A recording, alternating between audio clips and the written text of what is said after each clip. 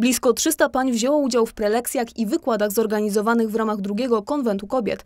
Wydarzenie jest inicjatywą Centrum Rozwoju Kobiet Wyższej Szkoły Humanitas. My jako organizatorki chciałyśmy po prostu umożliwić e, wymianę doświadczeń i inspiracji wszystkim paniom, które poszukują w życiu swojej pasji, swojego miejsca zawodowego i chcą rozwijać swoje zainteresowania. W programie tegorocznego konwentu nie zabrakło prelekcji uznanych trenerek i pań, którym prowadzenie własnej firmy znane jest od podszewki. Jednym z prelegentów była pani Natalia Włodarska. Moja prelekcja dotyczyła tego, żeby e, nauczyć się wzbudzać też w sobie taką moc i siłę do działania i do tego, żeby realizować swoje pragnienia, marzenia, potrzeby.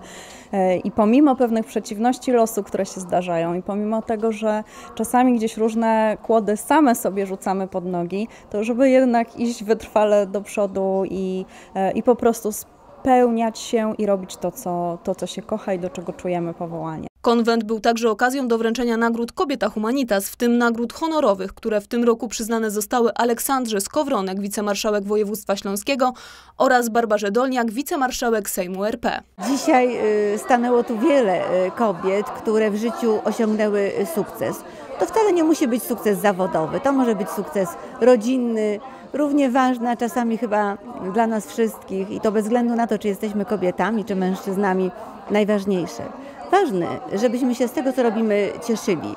Żebyśmy mieli wokół siebie ludzi, którzy nas, którzy nas wspierają. W ubiegłym roku laureatką tego wyróżnienia została Iwona Kanclerz, projektantka, artystka multimedialna, autorka projektów promujących województwo. Ostatnio się bardzo dużo zmieniło korzystnie na rzecz kobiet nagrody, wyróżnienia, pokazywanie kobiet w dobrym świetle, e, promowanie czy też e, ukazywanie wyjątkowych sylwetek staje się rzeczywiście coraz częstsze.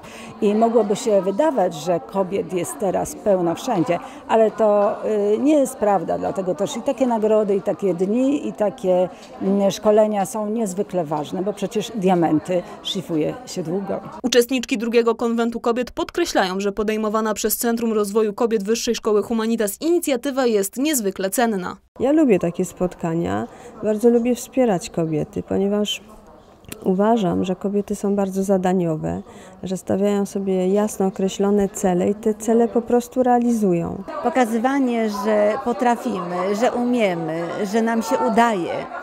E, I w tym wszystkim e, pokazujemy, że potrafimy się cieszyć najdrobniejszymi sukcesami najdrobniejszymi rzeczami, które sprawiają nam, a także naszym bliskim i naszym otoczeniu przyjemności, to chyba w życiu e, najważniejsze. Ostatnim punktem tegorocznego konwentu kobiet był panel dyskusyjny na temat wyzwań kobiecej przedsiębiorczości w zetknięciu ze współczesną gospodarką.